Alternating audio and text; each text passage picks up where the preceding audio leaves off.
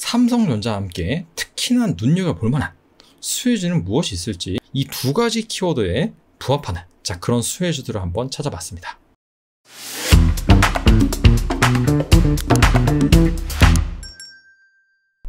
전일 장 마감을 앞두고 이러한 기사가 나왔죠. 윤석열 정부가 작정하고 반도체를 키운다. 5년간 무려 340조 원을 이 반도체 산업을 육성하는 데 쓰겠다. 라고 밝혔습니다. 자, 기획재정부, 국토교통부 등 관계부처 합동으로 반도체 초강대국 달성 전략을 발표를 한 것입니다. 당연히 삼성전자를 포함을 해서 국내 반도체 업체들한테 담비와 같은 자 그런 긍정적인 소식이라고 볼 수 있는데요. 자 그렇다면 340조 원을 들여서 국내 반도체 산업을 육성을 하는데 삼성전자와 함께 특히나 눈여겨볼 만한 수혜주는 무엇이 있을지 알아보는 시간을 갖겠습니다. 자, 340조 반도체 육성 정책 가이드라인. 상당히 좀 많고 구체적인 내용들이 담겼는데, 자, 이런 것들을 일목요연하게 한번 정리를 해봤습니다. 자, 그래서 크게 한 다섯 가지로 정책은 구분이 되고요. 세부 정책은 아래와 같고, 여기에 따라서 어떤 기업들이 수혜를 입을지 이렇게 분류를 해놨습니다. 먼저 반도체 단지 용적률을 350%에서 490%로 확대를 하겠다. 용적률이 한 필지에 토지 위에 건축할 수 있는 건축물의 연면적 합계입니다. 자, 쉽게 말해서 용적률을 높여주면 똑같은 토지에서도 훨씬 더 이 반도체 설비를 많이 지을 수 있다. 자, 그런 의미로 받아들이시면 됩니다. 이 부분은 당연히 삼성전자, SK 하이닉스의 수혜라고 볼 수 있고요. 두 번째, 반도체 설비 R&D 투자에 대한 세제 혜택 확대 그래서 대기업 설비 투자세 공제율을 2%포인트 확대를 했습니다. 그래서 중견기업과 동일한 수준으로 맞춰놨고요. 이 부분 역시 삼성전자와 SK 하이닉스의 수혜라고 볼 수 있습니다. 그리고 공제 대상 범위가 기존에는 전공정 핵심 공정 분야였는데 테스트 장비, 이건 후공정이죠. 그리고 IP 설계 검증 기술로 확대를 시켰습니다. 자, 테스트 장비로 확대가 되니까 후공정 장비 업체들한테 수혜고요. IP 설계 뭐 이런 것들이 다 반도체 설계와 관련이 있는 분야이기 때문에 팹리스 업체의 호재라고 볼 수 있습니다. 그리고 세 번째, R&D 특별 연장 근로 일본 수출 규제 품목에서 반도체 전체로 확대. 자, 특별 연장 근로가 과거 2019년에 일본이 우리나라를 대상으로 수출 규제를 펼친 적이 있죠. 그래서 그 품목에 한해서만 적용이 됐는데 이제는 반도체 전체로 확대를 하겠다. 그런 내용이고요. 4번 2031년까지 반도체 인력을 15만 명이나 양성을 하겠다. 그리고 해외 우수 인력 유치 시 소득세 감면 혜택 기간을 늘리겠다. 자, 그런 얘기입니다. 자, 5번이 제가 봤을 때는 투자 관점에서 가장 중요한 것 같아요. 시스템 반도체 시장 점유율을 3%에서 2030년까지 10%로 늘리겠다. 우리나라는 메모리 반도체 강국이죠. 하지만 이 메모리 반도체 강국인데 반해서 시스템 반도체 분야에서는 상대적으로 좀 저조합니다. 특히나 이 아시아권에서 경쟁하고 있는 이 대만과는 상당히 좀 많이 뒤쳐져 있죠. 자, 그래서 이 부분을 전략적으로 육성을 하겠다라고 밝힌 것이고요. 구체적인 방법론은 다음과 같습니다. 일단 분야 측면에서는 전력 반도체, 차량용 반도체에 자, 투자할 것을 검토 중이다라고 밝혔습니다. 전력 반도체가 자, PMIC고요. 그 다음에 인공지능 반도체 분야에도 1조 2,500억이라는 대규모 자금을 지원하겠다고 밝혔습니다. 자, 아무래도 국내에서 이 인공지능 반도체를 설계하는 업체는 삼성전자가 대표적이라고 볼 수가 있고요. 이것 말고도 소부장에서 좀 있긴 있습니다. 자, 그 부분은 뒤에서 말씀을 드리도록 하겠습니다. 그리고 국내 팹리스 30곳 이것을 스타 팹리스로 육성을 하겠다. 그래서 여기에다가 무려 1조 5천억 원을 투입을 하겠다라고 밝혔습니다. 이 부분은 당연히 이 팹리스 업체에 좋은 거고요. 그 다음에 소부장 자립화율, 국산화율이라고도 볼 수 있겠죠. 이게 30%인데 2030년까지 50%로 확대를 하겠다라고 밝혔습니다. 그리고 소부장 전문 클러스터를 구축한다고 밝혔고요. 마지막으로는 민간 합동으로 3천억 펀드를 조성을 해서 소부장 기업 혁신에 쓰고 그 다음에 팹리스 M&A 등에 투자를 하겠다라고 밝혔습니다. 우리나라 팹리스 업체들이 사실 소규모 업체가 많습니다. 그래서 경쟁력 있는 팹리스 업체들을 M&A 함으로 인해서 좀 규모를 키우는 자, 그런 전략으로 보입니다. 그래서 이런 부분 같은 경우에는 뭐 소부장, 팹리스 업체에 좋겠죠. 자, 지금까지 반도체 육성 전략에 대한 가이드라인에 대해서 상세하게 살펴봤는데요. 자, 크게 이 두 가지 키워드로 정리를 해볼 수 있을 것 같아요. 일단 업종에서는 자, 소부장과 팹리스 이 두 곳을 전략적으로 육성을 하겠다. 자, 앞서서 정리한 포에 보시면 소부장의 수혜가 되는 정책이 3개, 팹리스의 수혜가 되는 정책이 3개, 각각 3개씩 나왔습니다. 자, 그리고 분야는 어느 분야냐? 시스템 반도체 중에서도 전력 반도체, PMIC, 그리고 차량용 반도체 부분이다. 뭐 아시다시피 자동차가 전기차, 자율주행차로 변모해 가면서 이 자동차 시장이 반도체 가장 큰 시장으로 앞으로 군림하게 되어 있습니다. 자, 따라서 이쪽 분야에서 우리가 승기를 확실하게 잡겠다. 자, 그런 전략으로 보여집니다. 자, 그래서 소부장과 팹리스, 그 다음에 이 전력 반도체와 차량용 반도체, 이 두 가지 키워드에 부합하는 자 그런 수혜주들을 한번 찾아봤습니다. 먼저 소부장 수혜주입니다. 자 공정별로 전공정, 후공정 이 두 가지로 구분을 했고요. 옆에는 자 세부 공정이 나와 있죠. 그리고 바로 오른쪽에 국산화율이 나와 있습니다. 이 국산화율은 한국산업기술평가관리원에서 제시한 수치인데 2020년 기준입니다. 최신 수치는 아니지만 자, 그럼에도 불구하고 상대적으로 국산화율이 상당히 낮은 자, 그런 분야가 있죠.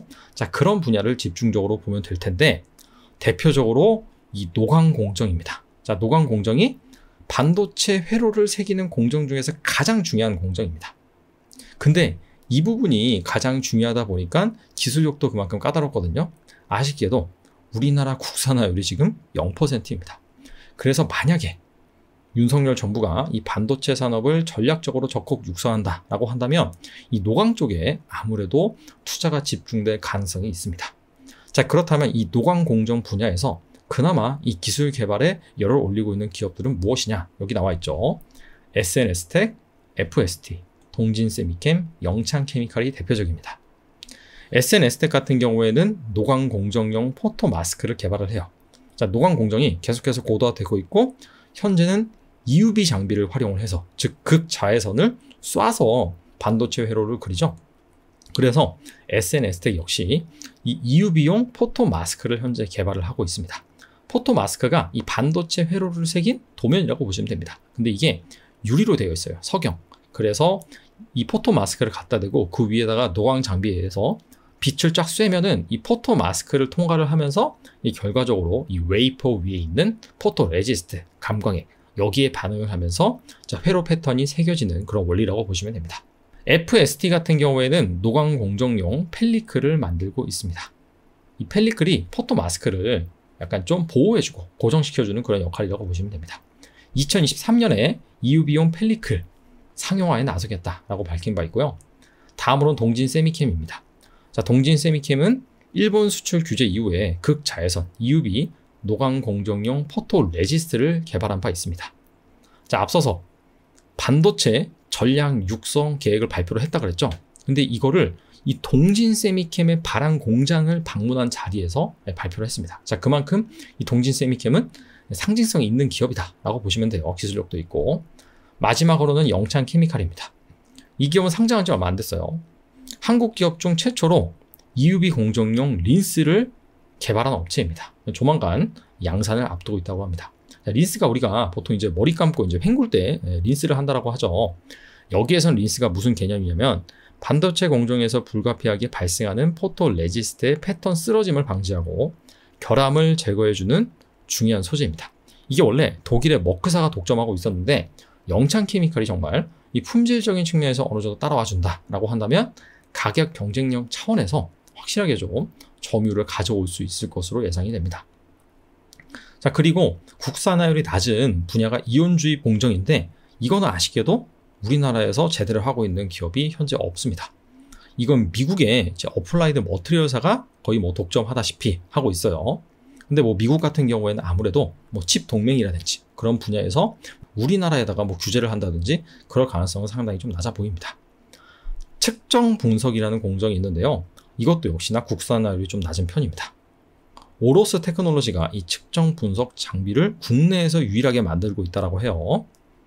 자, 측정 분석 장비가 반도체 제조 공정에서 웨이퍼 상부층과 하부층의 전자회로 패턴 위치가 정확하게 정렬되었는지 이런 것들을 점검하고 측정하는 장비라고 합니다. 이게 원래 미국의 KLA와 네덜란드 ASML 두 곳만 만들었는데 오로스 테크놀로지가 국산화에 성공을 했고 자, 최근에 삼성과 계약을 했다고 합니다. 자, 이번엔 팹리스 수혜주 한번 살펴보겠습니다.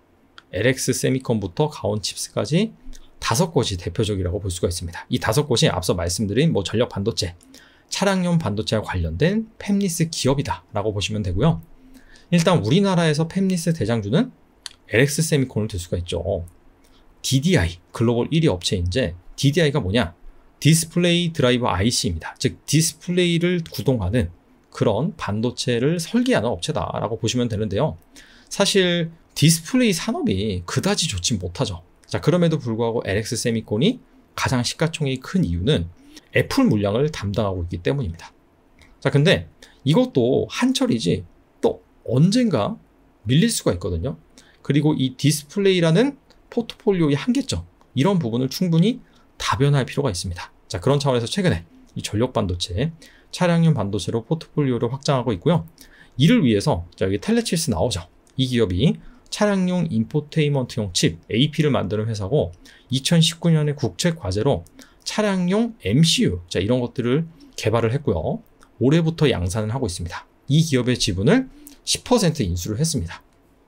그리고 LG 이노텍의 SiC silicon carbide 반도체 소자 설비와 특허 자산을 인수를 했는데 이 역시 업계에서는 LX 세미콘이 이 차량용 반도체 분야로 포트폴리오를 확장한다라고 판단을 하고 있어요. 자, 텔레칩스는 제가 방금 말씀을 드렸죠. 그리고 칩스앤 미디어라는 종목도 있습니다. 이 기업은 반도체 설계 자산을 보유하고 있는 기업입니다. 어? 팹리스와 좀 다른 건가요? 좀 다릅니다. 자, 만약에 자동차 한 대를 만든다. 그러기 위해서는 이 자동차 설계 도면을 그려야겠죠? 설계를 해야 됩니다. 자, 근데 범용적으로 항상 많이 쓰이는 품목, 뭐 이를테면 자동차 바퀴, 자, 이런 것들은 굳이 뭐 설계할 필요 없거든요. 그냥 잘 만들어진 설계도를 가지고 그냥 붙여버리면 됩니다. 자, 그런 차원에서 그러한 범용적인 설계 도면을 가지고 이런 것들을 뭐 팹리스 업체나 파운드리 업체나 임대를 해주는, 빌려주는 자, 그런 기업을 바로 IP 기업이라고 합니다. 근데 칩스 앤 미디어가 IP 기업이고요. 뭐 비디오 코덱, ISP, AI 기반의 computer vision, IP 등을 보유를 하고 있습니다. 인텔의 자회사 모빌아이 여기에다가도 설계 자산을 공급하고 있고요. 그 다음에 자동차 전장 시스템 칩 top-tier 기업 네덜란드의 NXP 있죠. 자 여기가 가장 큰 고객사입니다.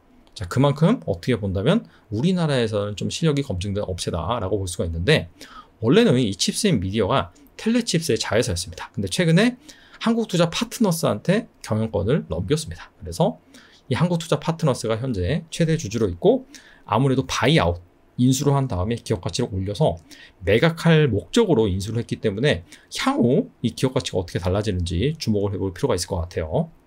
자, 다음으로는 KEC라고 있는데 이 기업은 자, silicon carbide 소재를 가지고 전력용 반도체를 제조하는 기업이에요. 삼성전자 가전기기, 자, 여기에 들어가는 칩, 그리고 테슬라 터치스크린 제품의 칩을 공급한 이력이 있습니다. 이 기업도 한번 주목을 해볼 필요가 있고요. 마지막으로는 가온칩스입니다. 이 기업도 상장한 지 얼마 안 됐어요. 근데 이 기업은 design house입니다. design house는 또 무엇이냐? 만약에 아파트 단지를 짓는다라고 하겠습니다. 그렇다면 펜리스 업체는 이 아파트 단지의 전반적인 조경이라든지 건물의 배치도 이 정도만 만들고요. 실제 그 아파트 안에 방은 어떻게 만드는지, 창문을 어디다 놓을 것인지 그런 디테일한 부분은 design house가 또 담당을 해서 설계를 합니다. 가온칩스 같은 경우에는 차량용 반도체, 그리고 보안, 그리고 인공지능 반도체를 또 설계하는 그런 디자인 하우스입니다. 앞서 말씀드린 반도체 육성 전략 키워드에 부합하는 종목이다. 라고 말씀을 드리고요. 근데 앞서서 뭐 영창 케미칼 그리고 가온칩스 둘 다 상장한 지 얼마 안 된 종목이기 때문에 당분간은 오버행 이슈에서 자유롭지가 않습니다. 그래서 그 부분은 여러분들이 꼭 참고하셨으면 좋겠습니다. 정리해 보겠습니다. 자, 5년 육성 계획이에요, 이게. 그렇기 때문에 장기적인 관점에서 여러분들이 접근할 필요가 있습니다. 당장 실적이 잘 나온다든지, 뭐, 내일 당장 주가가 오른다든지 그런 게 아니에요.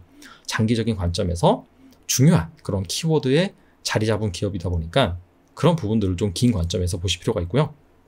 그리고 예비 타당성 조사, 검토 단계. 자, 이런 위치에 있는 그런 정책들이 좀 있었습니다. 그래서 이게 실제로 잘 진행이 되는지 당연히 모니터링을 할 필요가 있고요.